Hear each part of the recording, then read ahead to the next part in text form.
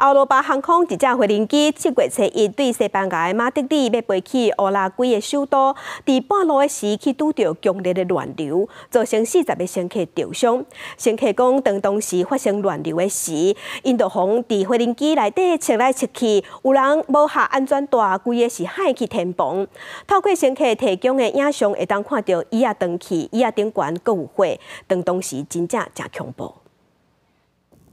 在欧罗巴航空 UX 空送五航班遭遇乱流的乘客，在北港的巴西东北部纳塔尔机场附近在等转接巴士。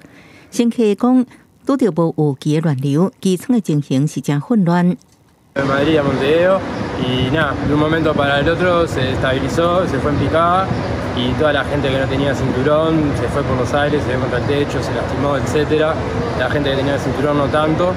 架载三百二十五人的波音七八七九梦幻客机的航班，原本从为西班牙马德里飞向乌拉圭首都蒙特维多，中途遭遇强烈乱流。根据乘客伫迄时阵翕的情形，天棚弄甲落落去，光线看甲清清楚楚，伊也个人负乘客回家，甚至出现伊也可断气的情形，显示浪的头是有够大。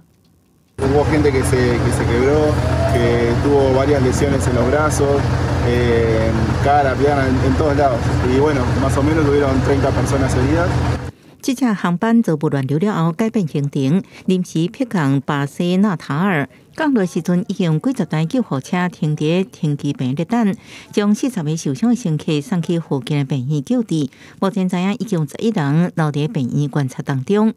欧罗巴航空为马德里紧急调派另外一架航班，飞到巴西来载乘客，继续去目的地乌拉圭。早伫五月份就连续传出客机遭不乱流的意外事件。